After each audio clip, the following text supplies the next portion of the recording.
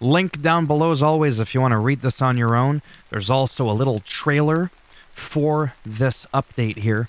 Essentially, welcome to the arenas, our fourth free major content update for Sifu that adds, yeah, yeah, a bunch of crap. It's an arenas, an arenas expansion. Helps if I could speak properly. Nine, that's four. Anyways, nine new locations and 45 merciless challenges spread over five game modes. The arena's expansion is packing up to 10 extra hours of gameplay into the already demanding title. Masters of Kung Fu will be pushed to their limits as waves of enemies crash upon them in survival mode, or pushed to perfection into performance mode.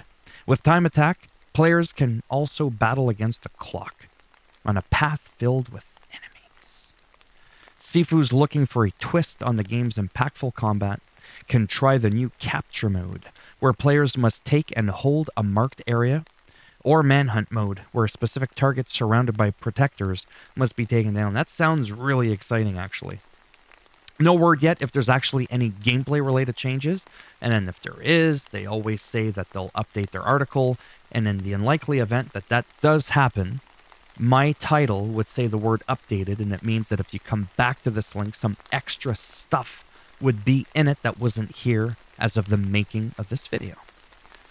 So as always, if you like the video, go ahead, give it a thumbs up as it does greatly help support the channel with that algorithm, so they say. If you didn't like the video, go ahead, give it a thumbs down. I'll bend it in half and twist it, and I'll snap it off inside your ass, as always.